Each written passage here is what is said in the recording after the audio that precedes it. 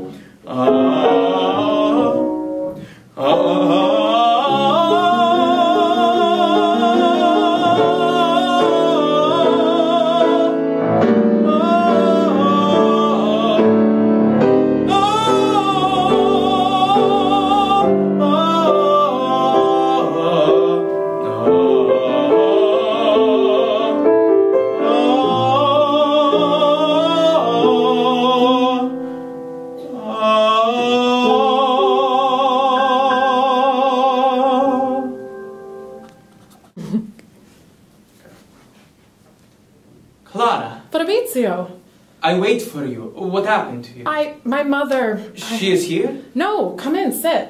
No. Entra. I think you have gone. I'm afraid. Don't be, come in. No, you're alone. I should not. Insisto, I want you to. She won't mind. I think you have decided.